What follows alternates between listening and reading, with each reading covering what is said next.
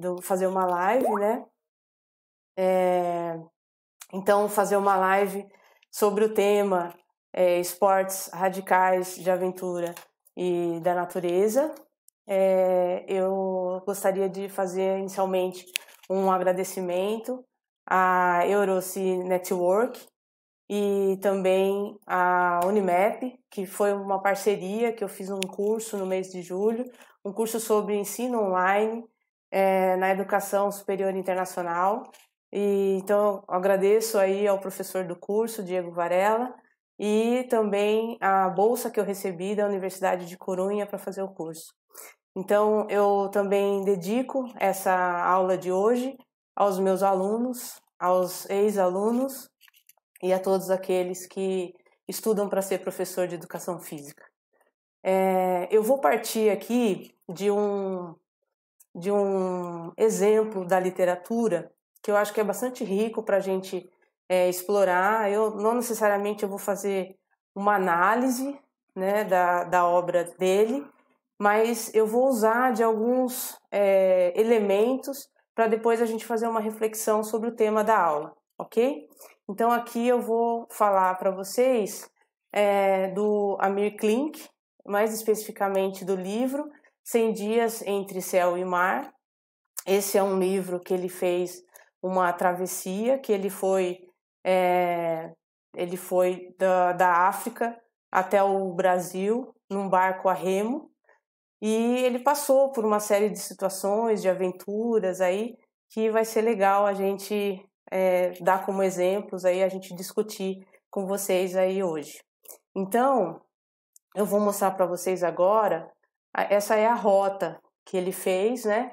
Então ele partiu do porto de Luderitz, que fica na Namíbia, e ele foi no sentido oeste até a Praia da Espera, em Salvador. É, demorou então 100 dias para ele fazer essa travessia. E ele fez essa travessia no ano de 84. Ele começou a viagem no dia 10 de junho de 1984 e chegou na, no litoral baiano no dia 18 de setembro de 1984. Então, deu 100 dias, né?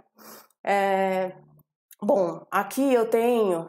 É, então, essa é a, é a rota.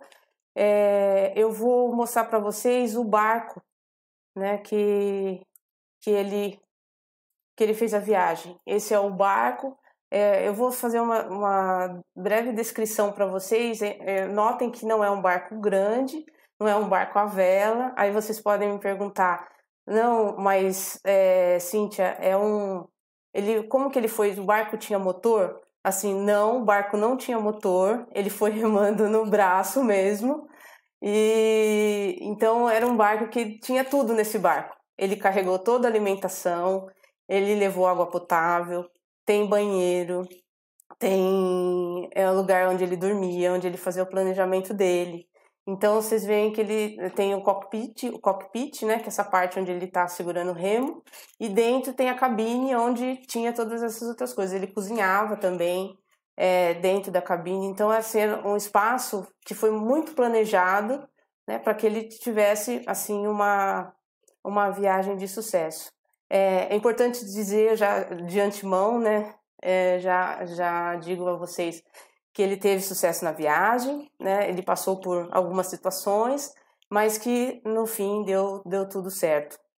Essa foi uma viagem que foi bastante é, planejada por ele.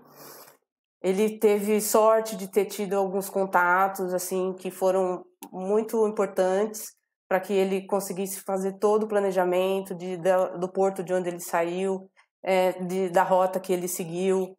É, então foi tudo assim muito bem planejado. E ele tem uma história de vida também muito particular. O Amir Klink ele é, tem um vínculo assim muito forte com a cidade de Paraty, no Rio de Janeiro.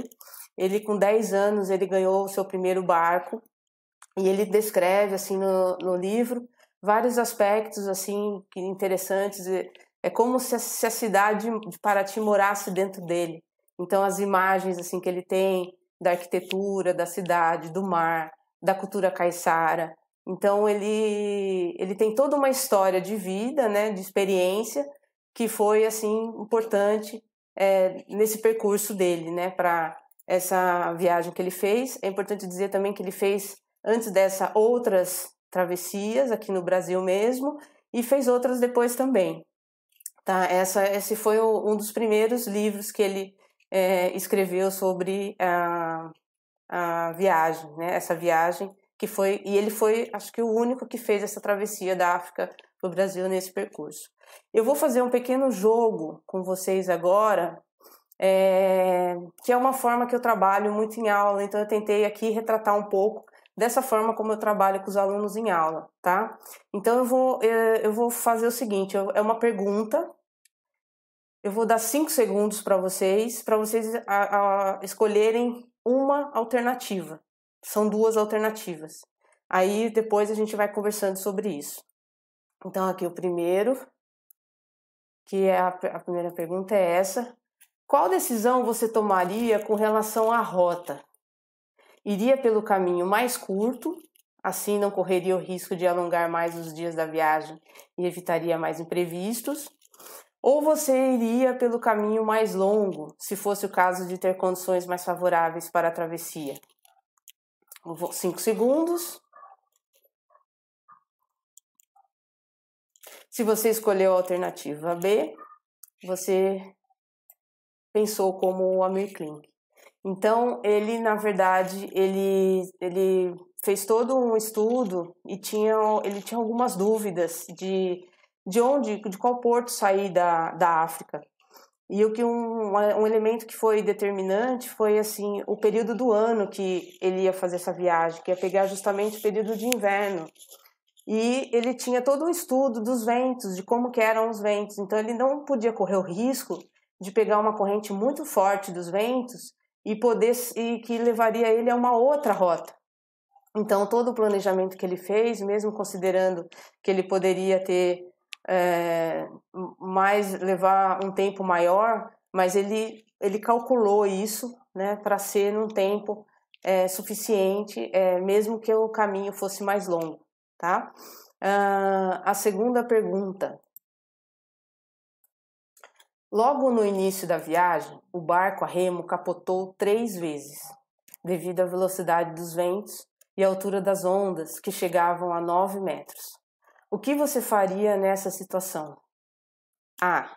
Não tomaria nenhuma decisão com relação à questão, pois isso era esperado e o barco foi projetado para virar e desvirar. B. A decisão mais prudente seria retornar a Luderitz, África, e esperar por melhores condições do vento. 5 segundos. Se você escolheu a alternativa A, você pensou como o Amir Klink. É, é interessante que ele, é, quando, logo quando ele começou a projetar o barco, ele pensou assim: não, eu não posso fazer um barco que ele seja muito grande, porque também não era um barco a vela, né? Então ele tem que ser a, a lógica seria um, um barco suficientemente é, pequeno, mas que ele conseguisse ser assim, ser eficiente. Então, se no caso de vir uma onda mais alta e o barco virar, ele teria que ter a capacidade também de desvirar para a posição normal. Então, todos os detalhes do barco, o desenho do barco, até ele fala que o barco é a lâmpada flutuante, porque parece o, o formato de uma lâmpada de, do Aladim. Então, foi todo um trabalho feito, projetado, para que ele tivesse essa capacidade e, com isso, tivesse mais chances de passar por situações difíceis porque era, previ era previsto isso, que eventualmente ele ia ter uma onda mais alta, um vento um pouco mais forte. Então, esse foi um pouco a forma como foi pensado. Uh, a terceira pergunta: como programar a alimentação para a viagem? A. Cozinhar com água doce do reservatório para não haver problemas com excesso de sal no organismo pela água do mar. Ou B. Só cozinhar com água do mar, poupando o estoque de água doce. 5 segundos. Se você escolheu a alternativa B, você pensou como ele. É, bom, eles, na verdade, a alimentação foi um outro ponto assim bastante importante para a viagem, porque ele, te, ele tinha eram muitos dias, né? Ele sabia que podia levar até mais de 100 dias para fazer a viagem. E na verdade ele ele ele teve toda uma equipe de nutricionistas também que preparou a alimentação. Então assim, a alimentação que ele levou foi toda desidratada. E ele levou e, e elas fizeram um cálculo de que se ele usasse a água do mar para cozinhar, que ali é, teria já a quantidade de sal suficiente, tanto para saborear a comida, como para ele também não ter problemas depois disso com o organismo, tá? Então foi foi dessa forma. E ele levou no total foram 150 cardápios que ele levou é, cada cardápio por dia, né? Que ele levou de alimentação é, durante a viagem, tá? Uh, uma quarta e última pergunta os tubarões começaram a dar golpes no barco para soltar os crustáceos grudados no casco. O que você faria? A alternativa A. Não há nada a se fazer, apenas esperar que não venham mais tubarões ou que com a velocidade das remadas eles fiquem distantes do barco. Alternativa B. Entraria na água para limpar os crustáceos e ficar atento ao movimento dos peixes. 5 segundos. Se você falou, uh, escolheu a alternativa B, você também foi pensou, pensou como ele. É, na verdade, essa é uma história interessante que ele, que ele retrata, porque durante a viagem ele tem uma relação muito próxima com os animais marinhos. Então ele conta até a história de uma de uma foca, né, que chegou no momento ele viu uma foca nadando assim para trás, como igual ele fazia, porque ele remava também para trás, né?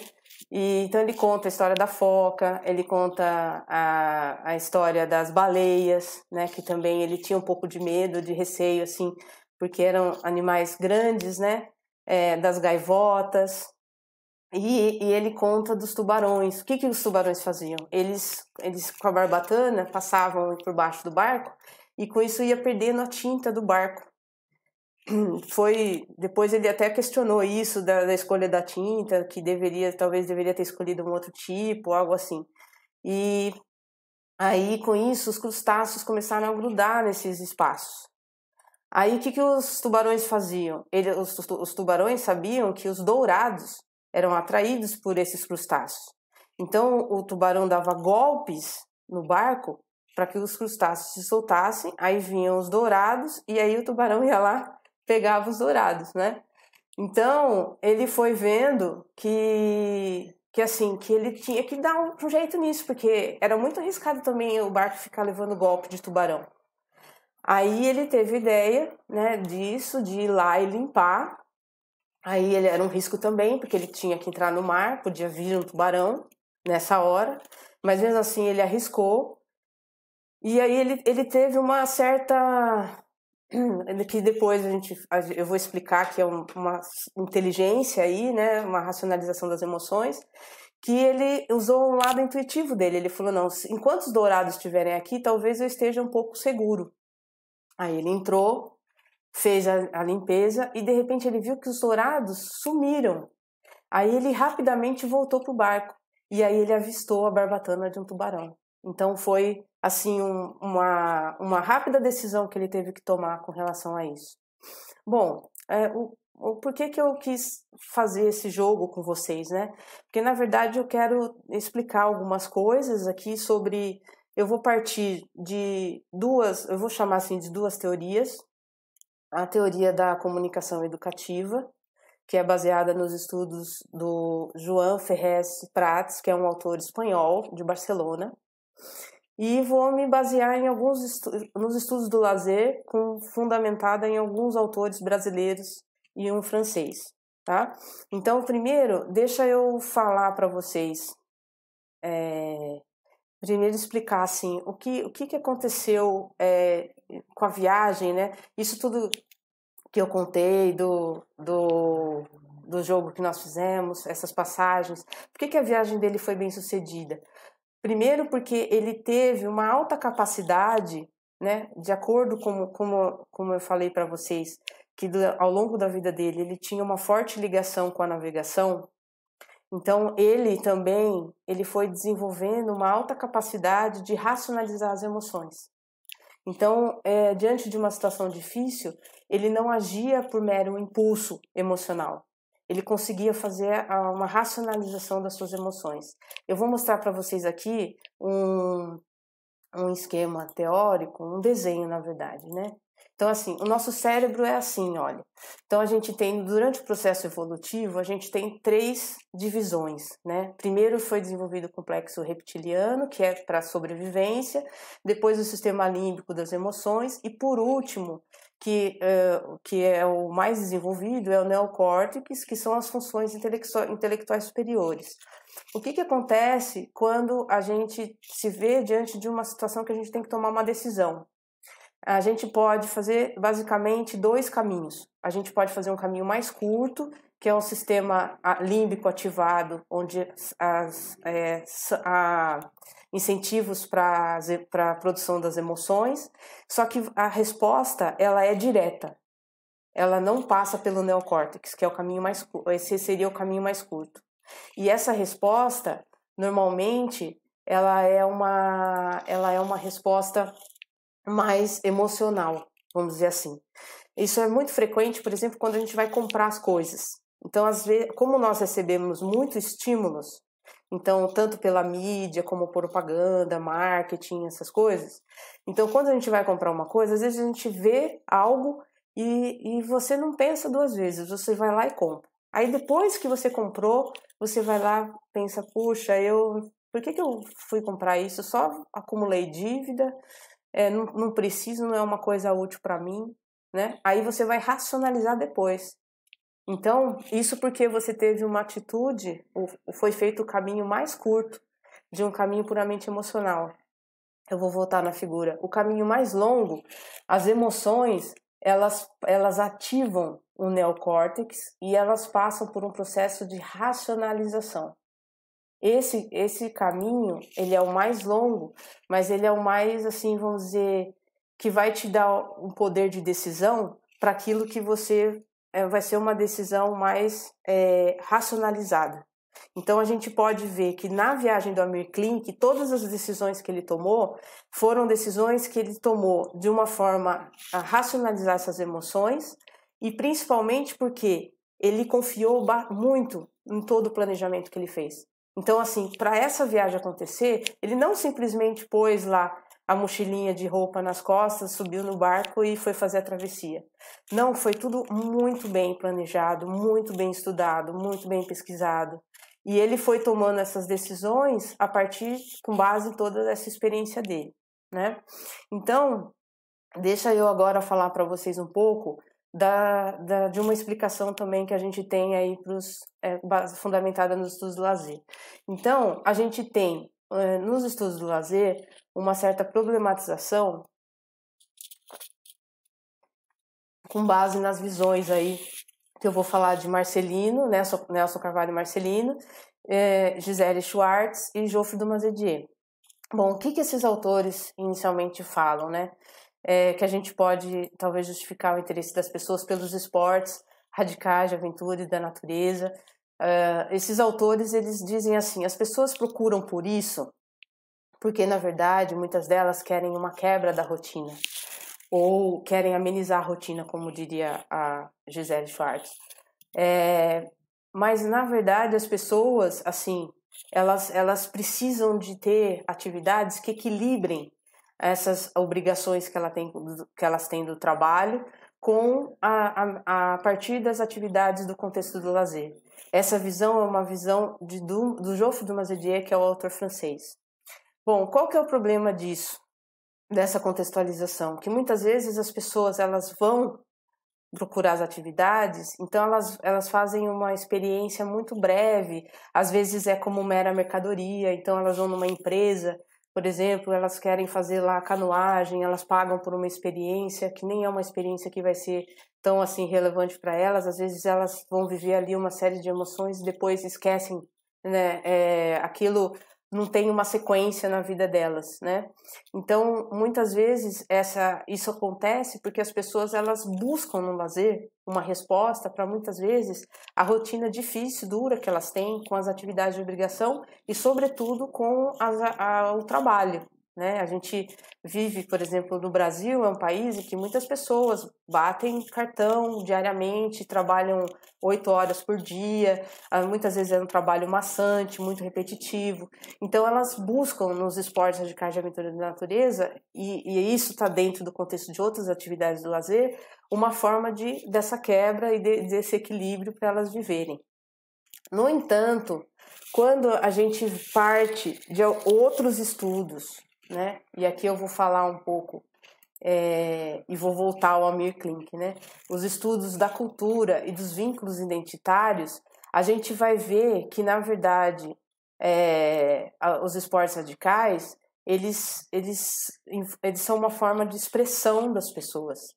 Eles mostram uma forma de identidade das pessoas.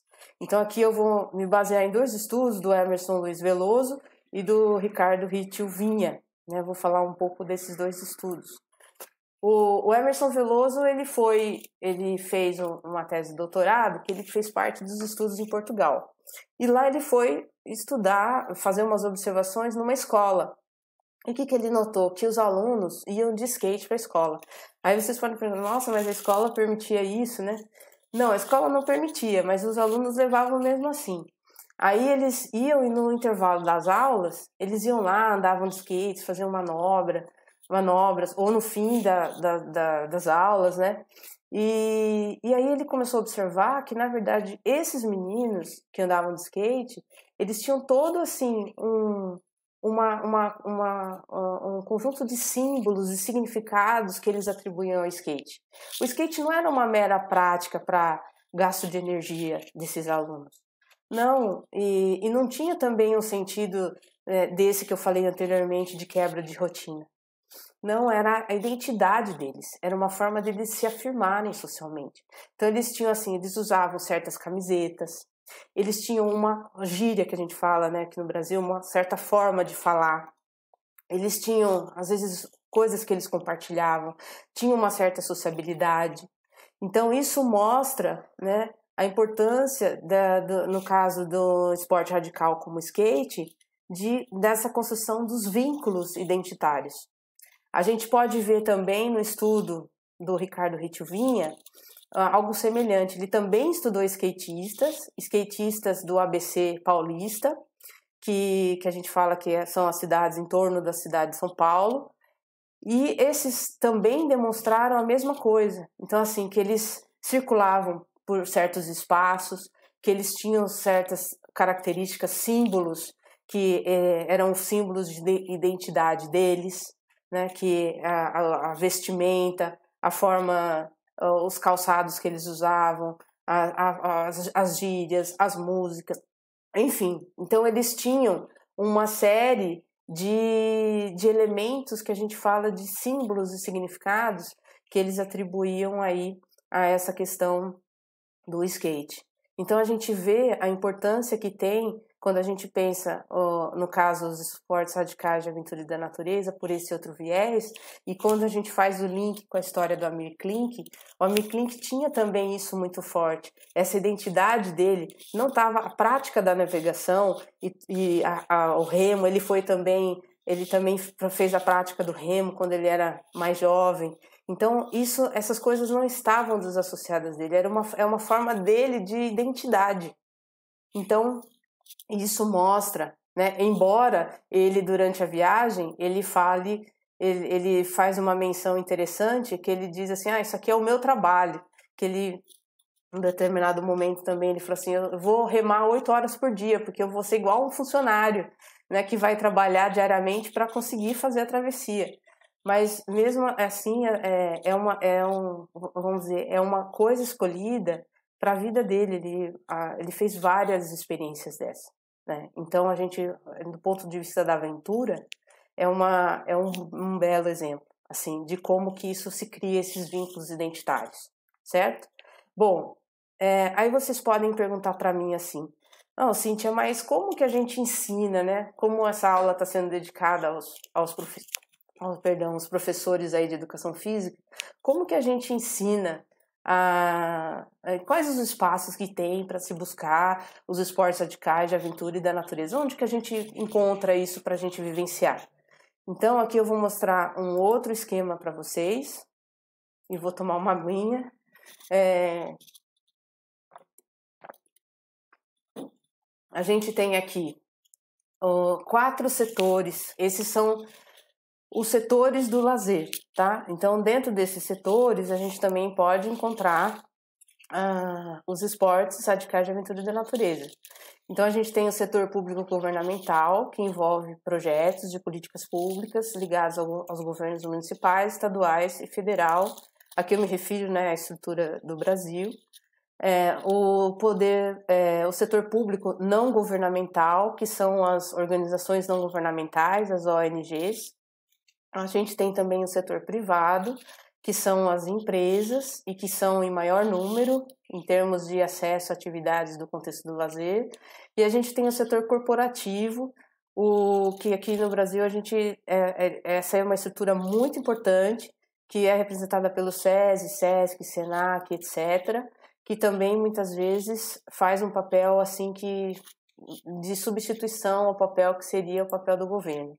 Bom, o que a gente vê então que é importante aqui de registrar para vocês é o seguinte, que a gente tem que tomar um certo cuidado, porque na verdade é as políticas públicas que, que vão garantir uma maior democratização do lazer e das atividades do contexto do lazer. Aqui no Brasil, o lazer é um direito social, mas o, o lazer ele é um direito humano de acordo com a Declaração Humana né, dos Direitos Humanos também. Então, ele é tanto de interesse aqui do Brasil como de qualquer outra parte do mundo. É, o lazer é um, é um, vamos dizer assim, é um direito das pessoas. Então, o poder público seria a forma mais democrática disso acontecer né, os projetos de políticas públicas. O que a gente vê é que muitas vezes esses projetos, eles são ou mal planejados, eles não têm as três etapas necessárias, que é o planejamento, a execução e a avaliação, ou eles fal faltam recursos humanos, ou falta manutenção nos espaços. Então, assim, são algum, algumas coisas né, que às vezes acontecem aqui nos projetos de políticas públicas do Brasil e que pode ser, é, a gente pode estender para outros, outros lugares também, né? Mas é, o cuidado que a gente tem que ter com as ONGs, por exemplo, as ONGs fazem um papel muito importante, mas é, é um papel emergencial, é para aquela situação que é uma situação que a pessoa ela precisa de um, ela está no limite da necessidade, né? E, e, muitas vezes é um nessa emergencial não é suficiente para modificar a vida das pessoas. E aí a gente tem as empresas, né? Que são as empresas normalmente elas têm um papel assim já mais a gente consegue encontrar uma quantidade maior de empresas, mas muitas vezes uh, as empresas elas, elas oferecem como mera mercadoria os esportes radicais. Então a gente, as pessoas precisam ter muita atenção quando vão procurar as empresas para se certificar de que é uma empresa confiável, que tem material suficiente, porque assim, como vocês viram na, no exemplo que eu dei do Amir Klink, tudo precisou ser muito bem planejado. O barco, tudo de muito boa qualidade, alimentação. Então, vocês precisam tomar muito cuidado quando vão em empresa de certificar que é uma empresa que tem também o cuidado com o material, que tem pessoal especializado, que tem aquele professor que tem domínio das técnicas e também o domínio dos equipamentos, é, que saiba lidar pedagogicamente com as pessoas. Então, isso é, fu é fundamental quando a gente vai procurar o trabalho das empresas. E o setor corporativo, né, não são todas as unidades do SESI e SESC que eles oferecem esportes é, radicais, por exemplo, mas a gente encontra algumas, algumas unidades. E eles, é, é, realmente, esse setor ele faz uma diferença aqui no Brasil. É, eles são muito organizados e as atividades normalmente são de muito boa qualidade, com bom pessoal, recursos humanos. Então, esses são os espaços que vocês poderiam é, procurar, tá? Para fazer a, a, prática dos, dos esportes radicais de aventura e da natureza. Eu vou mostrar para vocês agora três pontos que eu considero assim que são fundamentais quando a gente fala dos esportes radicais de aventura e da natureza, que são os valores revolucionários, o desenvolvimento humano e o contraponto ao mero consumo de mercadorias. Então, primeiro, assim, os valores evolucionários. Que valores são esses? Né? Então, o esporte está muito ligado à, à, competição. Só que vocês perguntam para mim, não, a gente é errado a gente querer a competição? Assim, não, não, não é o errado. A competição ela é um elemento que desafia, ela é importante estar presente esse valor. O problema é não ter os outros valores. Então, assim, a competição, uma boa competição, ela só existe se ela tiver a cooperação, se ela tiver a solidariedade, se ela tiver o respeito às diferenças, né?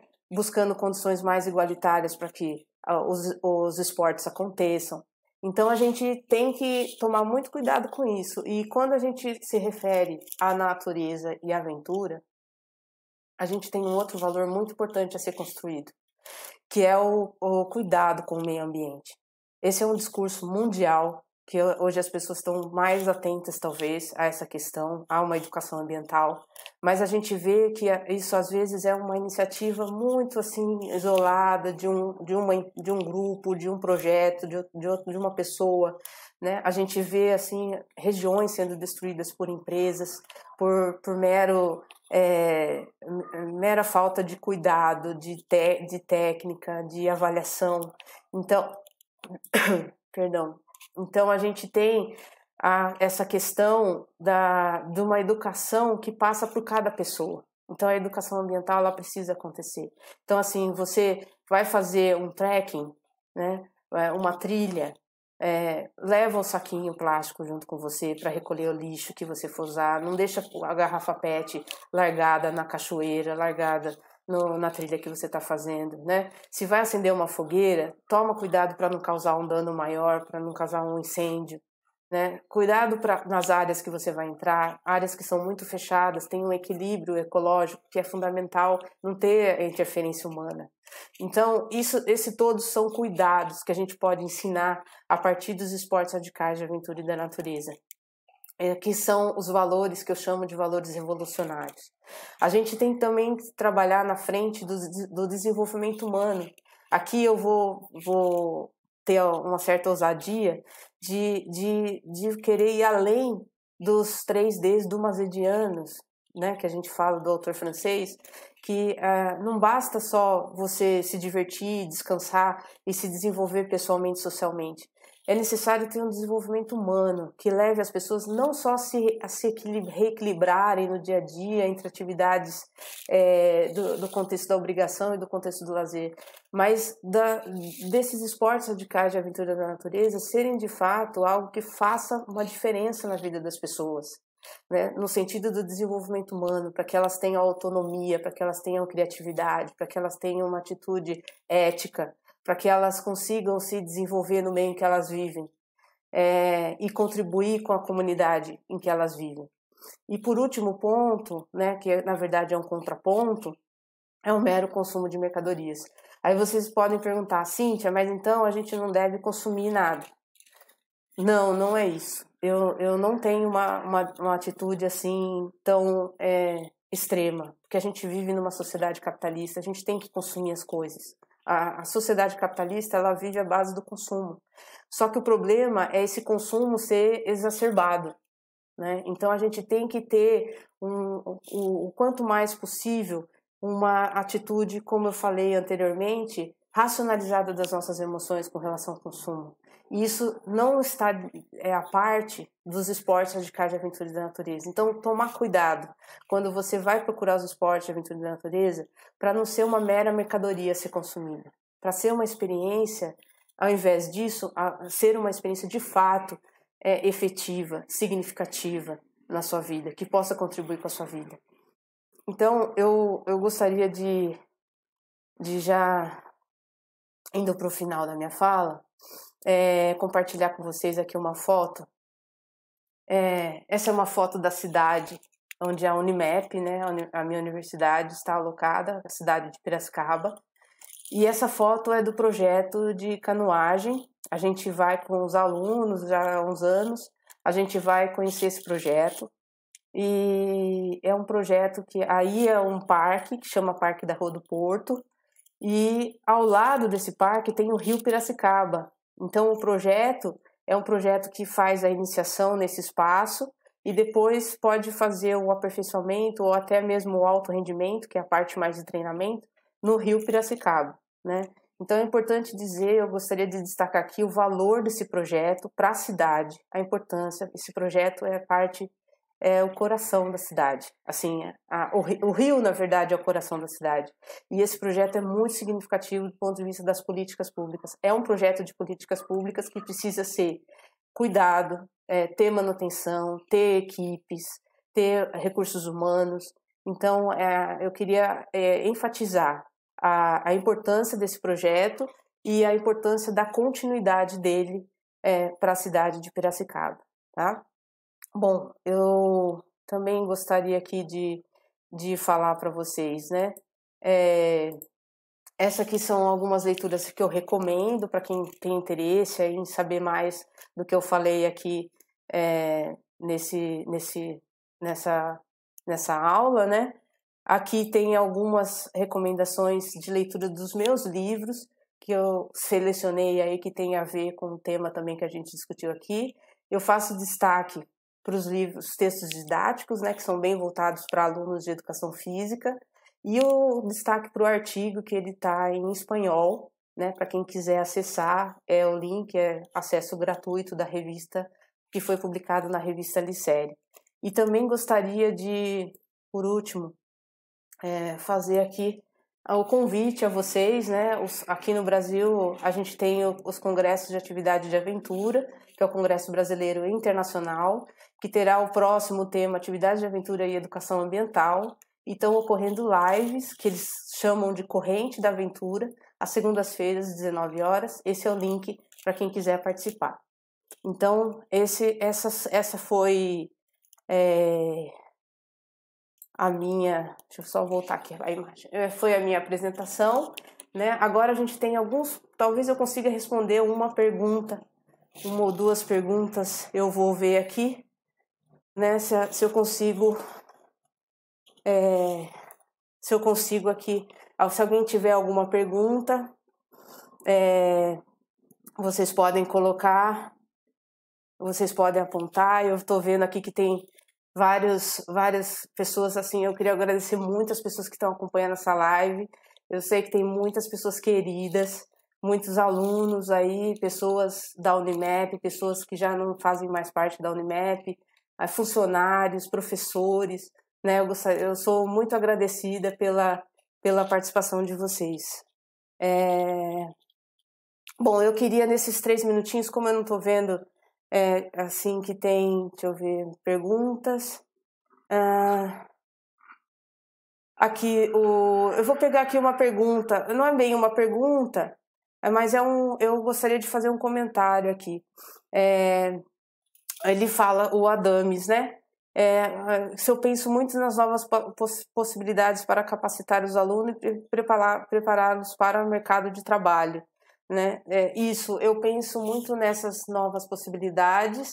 Eu queria dizer que a gente tem hoje umas diretrizes para a formação de professores no Brasil que tendem a não tratar muito da, das questões pedagógicas em cursos de licenciatura, né, principalmente é, relacionadas a disciplinas de lazer, uma tendência talvez ao lazer perder um certo espaço nessa nova organização curricular, e é importante é, isso não acontecer porque a gente precisa de profissionais capacitados, principalmente pedagogicamente, né, para tratar com isso que eu falei no tema da, da nossa aula de hoje, da, tratar das emoções, ensinar as pessoas como elas, ao, ao, ao questionar as pessoas, né, ensiná-las como elas podem racionalizar suas emoções. Esse é um, um ponto, assim, talvez interessante para a gente seguir adiante aí, né? E então eu, eu tenho assim a preocupação de, de ter é, um, um, um, espaços aí, né, que, que os setores do lazer consigam trabalhar com pessoais qualificados e que os futuros professores possam também é, seguir adiante aí com seus projetos, tá bom? Então, pessoal, obrigada por tudo. Até uma próxima. Tchau, tchau.